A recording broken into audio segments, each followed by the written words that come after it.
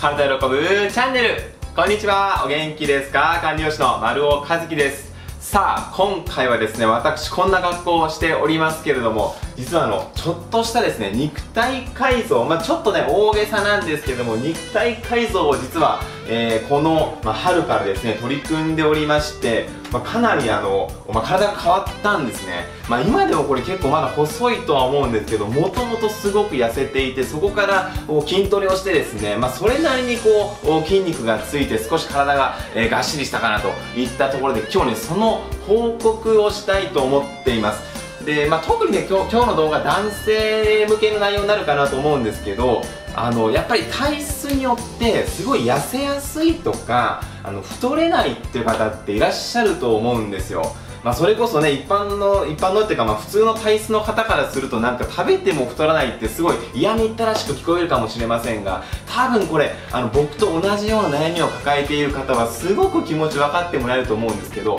食べても太らないってめちゃめちゃ辛いんですよね。そのやっぱりこう男としてある程度は筋肉とかあった方が、まあ、見栄えもいいじゃないですか。ちょっとガリガリだとなんか頼りなさそうとかねこう夏場だったら T シャツ着てもなんか様にならないとか少しはやっぱりがっしりした体手に入れたいな、ね、この筋肉の鎧を手に入れたいなっていうのはもう男性共通の願いだと思うんですね。でそんな中でですね食べても太らないっても筋トレしても筋肉がつかないっていうのは本当に死活問題ですごい苦しいと思います。で僕自身ももう子供の頃から本当にずっと痩せ体質で食べても太らない。もう親にもなんかあんたは食べさせてない子みたいねとかってね、まあ、言われて育ったような形です。非常に苦労しました。でも今回は一年発起して、まあ、体質的には僕すごく筋肉もつきづらいし体重も増えづらいんですけどもちょっとねあの一年発起して頑張ってみましたので、今日はなんか僕のその悩み、共通の悩みを抱えているあなたにお届けしたいような内容になっていますし、あるいはね、まあ、男性女性限らず、ちょっとこう肉体改造してみたいなと、ね、えー、きちんとこう体にいい食事をとりながら、まあ、体もちょっとがっちりというかね、あの脂肪を落として筋肉つけたいなっていう方向けの内容になればと思っておりますので、ぜひ、えー、お付き合いいただければと思います。よろしくお願いいたします。さあ、それではね、あの、まずこう、経過から見ていきたいんですけど、まあ、今日ね、話の内容としては、まあ、実際僕のその体験のところをお話しさせていただいて、それからこう、ポイント3つですね。えー、まあ、僕がこう、やっている中で良かったなっていうポイントを3つ、挙げて、えー、お話をしていきたいと思っております。さあね、まずですね、この経過の方なんですけども、あの、まあ、さっきね、言いましたけど、僕本当に子供の頃からもうすごい痩せ体質で、もう子供の頃とか本当ガリガリだったんですね。もうずっとそのね、BMI で言うともう18.5超えたこともない、もうずっと痩せ体質っていうもう人生をですね、子供の頃からずっと大人になっても社会人になっても送ってきてですね、まあすごく悩みだったんですね。まあただ、あの、過去に少し動画も上げたんですけども、あれはまあ4年ぐらい前ですかね、4、5年前に初めてこうジムに、えー、行って契約してですね、まあ、本当にこう体変えようと思って筋トレを自己あ自分なりにね、自己流で、えー、頑張っていた時期がありました。で、その時少しまあ体重は増えたんですけども、まあでもなんかそんなにこう、あの、見栄えが変わったっていうまではいかなかったんですよね。で、あのー、それからまあジムには行っていたんですけども、もう気を抜くとね、体重が減ってしまうわけなんですよ。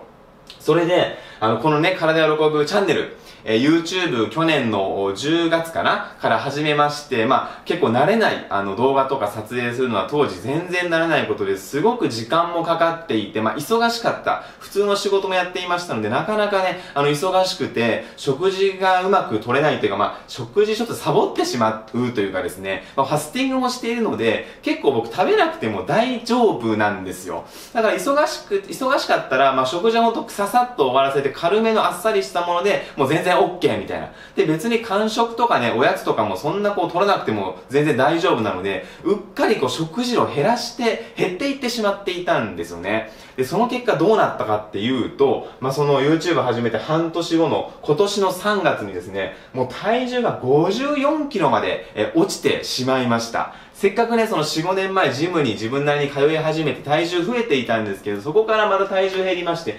54キロまでね、体重が落ちてしまったんですよ。で、これ BMI っていう、まあその体格の指標があるんですけど、これで計算すると、まあ18.3っていうですね、もう完全に痩せなんですね。これ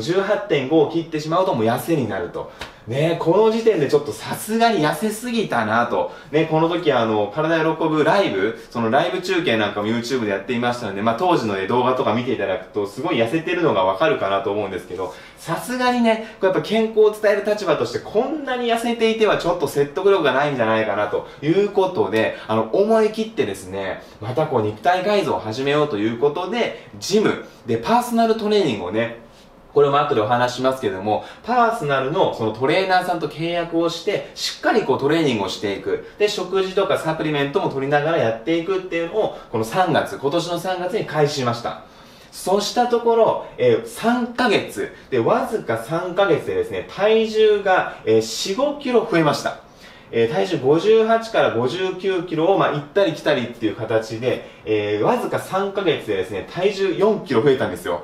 で、これね、普通の体質の人が聞くと、そのそんなね、3ヶ月で4キロ増えたってちょっと太ったぐらいじゃんって思われるかもしれないんですけど、もう僕みたいに全然太れない人からするとこれ、むちゃくちゃ難しいことなんですね。もう体重1キロ増やすのはもうもうヒーヒー言わないとなかなか増えないので、この3ヶ月で4、5キロ増えたっていうのはもう、もう僕の体質にとって本当驚異的な数字でした。で、あの、これ実を言うとですね、最初の1ヶ月、その3月から4月の最初の1ヶ月で体重自体はこれぐらい増えてたんですよ。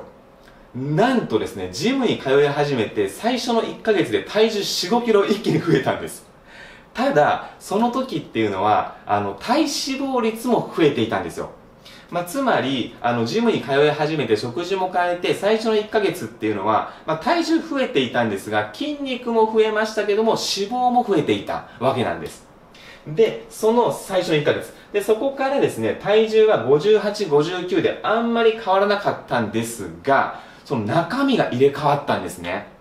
というのも、体脂肪率はどんどん減っていって1桁。まあ大体8%とか9%とか、まあ測る日によっては7%とか6%とかまで下がったんですが、体重はそのまんま。つまり、えー、最初の1ヶ月は筋肉も脂肪も増えたんですけど、その次の、まあ、段階はですね、その脂肪は減るけれども筋肉は増えるっていう、その脂肪を落としながら筋肉を増えるっていう風に中身が変わっていったっていうイメージです。えですので、体脂肪率はまあ1桁と。で、えー、今この動画を撮っているのが9月の半ばですけども、今体重はね、まあ、58ぐらいですね。で、体脂肪率も、えー、この間測ったのは8%ぐらいということで、まあ、それをキープしているっていう形になります。で、あの、最初はですね、これ60キロまで体重増やそうと思ったんですけど、ここに壁があったんですよ。もうね、この59キロ、59.4とか59.5ぐらいはいけるんです。でもね、もうそっから60に全然乗らないんですね。もうどんだけ間食も含めてもうとにかく食事増やしてやってもどんだけトレーニングしても増えないんですよ。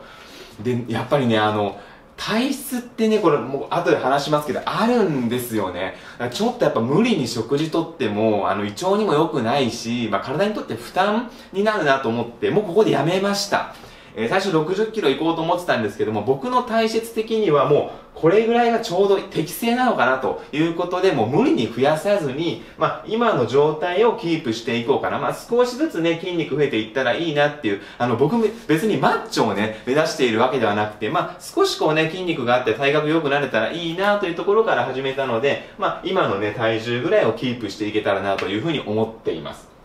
まあ、なのでね、今 BMI がちょうどどれぐらいなのかなまあ全然あの、普通の体質に入ってますね。この3月の時点では痩せでしたけども、今ちょうどまあ普通ぐらいと。なんでまあ結構ね、腕とかもこう、これ動画とかでわかりますかね結構ね、やっぱ太くなったりだとか、あと、この胸筋もね、結構ついたんですよね。えー、なので、まあ、割とね、こう、がっちりしてきたかなっていうね、あ腹筋なんかもちょっとお見せしないですけども、割れていたりだとか、かなりね、まあ、あのー、まあ、自分なりには結構理想のね、えー、体型になれたかなっていうような形になります。